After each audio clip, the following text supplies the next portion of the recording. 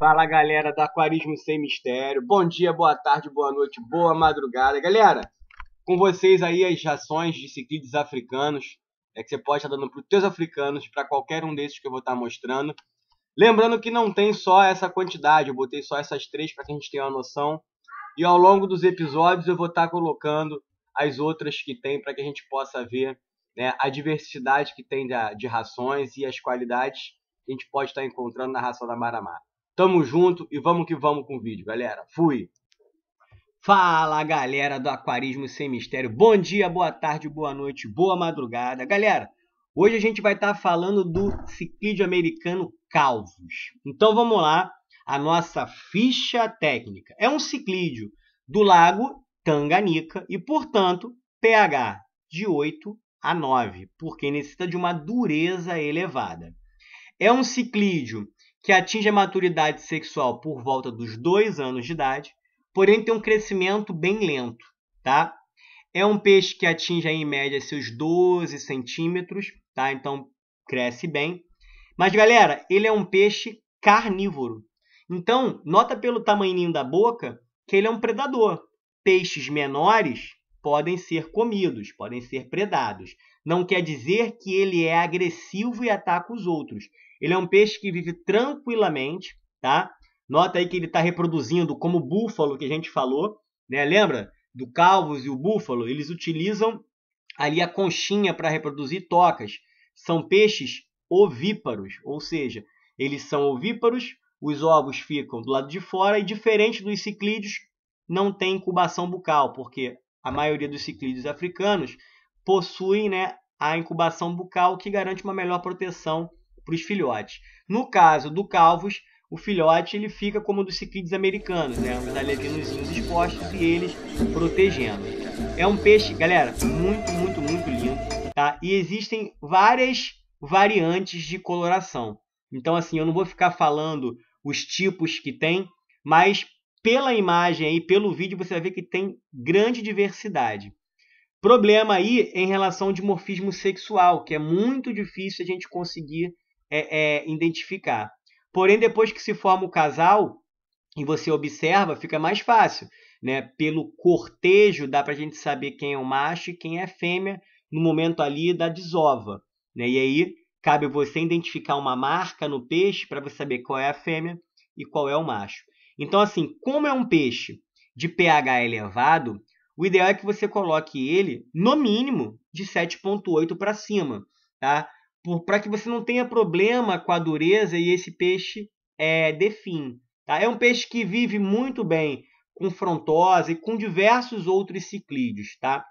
É só um conselho. Como são ciclídeos do lago Tanganica, aí ó, para quem pergunta, será que eles vivem juntos? Tranquilamente, tá? É, para quem tem ciclídeo do lago Tanganica, vale muito a pena botar o calvos, tá? Por quê? É, porque são peixes dóceis e são do mesmo lago e por isso vão viver bem. E aí tem gente que pergunta, Marcos, vou colocar ele com ciclídeo do lago Malawi ou do lago Vitória. Você tem que ter cuidado, porque são ciclídeos mais agressivos, tá? E às vezes você pode colocar um menor e o calvos comer por ser predador, tá? Mas dá para colocar desde que a gente respeite as compatibilidades de tamanho. Aí é o momento que eles estão cortejando, né? O macho ele tende a ficar mais escuro e perder as listras, né? O macho não, o casal, os dois, à medida que eles vão envelhecendo, eles vão escurecendo. Mas existem outras variantes também. Tranquilo?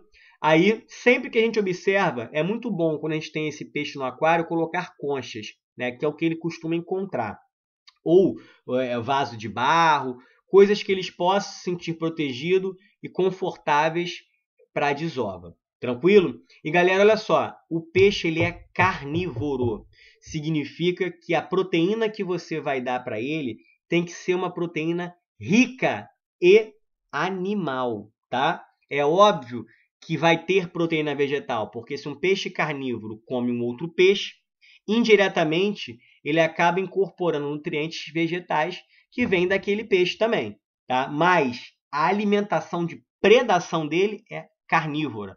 Então você tem que dar alimentos ricos em proteína animal para que o peixe desenvolva bem. Aí são five bar, né? que muita gente confunde com frontosa. Então, são peixes diferentes, embora tenham um, um, um, dependendo do tamanho, eles se pareçam, mas dá para a gente conseguir diferenciar bem. Aí um aquáriozinho, ó, bem pacífico, os peixes bem harmoniosos do Lago Tanganica. Nota que você tem quatro calvos aí, eles não estão se agredindo, né? Cinco, na verdade. Coisas que no ciclídeo do Lago Malawi já não é tão pacífico assim. Então, por isso que eu digo que para você misturar, você tem que primeiro pesquisar, ter um, um conhecimento maior, para que você não fique, não fique perdendo peixe. Porque lembra, galera, muita gente vai na tentativa e no erro e fala assim: ah, mas se morrer eu compro outro. Vamos acabar com esse pensamento, porque a gente não faz isso com nenhum outro bicho. Ninguém compra outro cachorro, ninguém compra um gato porque ficou doente, mas com peixe a galera quer fazer, tá? Então vamos acabar com isso, vamos mudar o nosso pensamento. São seres vivos, lindos e merecem o nosso respeito e o nosso carinho. Aí o cara colocou um bandeira, tá? Eu vou dizer para você que se realmente isso for bandeira, que não tá, não tá dando pra gente, mas acredito que seja, é o Buffalo Red aí.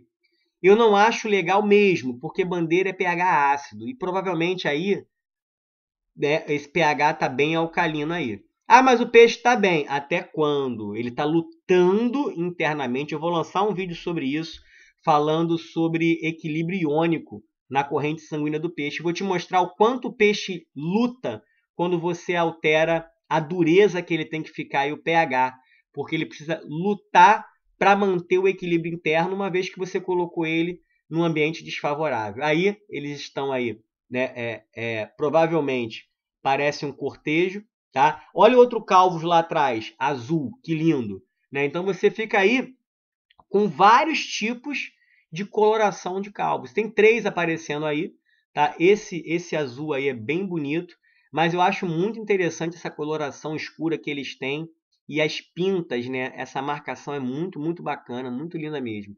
Separei aí um maiorzinho para vocês verem já num tamanho bem avantajado. Esse aí me parece ter uns 12 para 13 centímetros. Está bem grande, guardando os filhotes que estão aí dentro né, dessa conchinha, dessa toca aí. Então, galera, ó, vasinho de barro, tá vendo?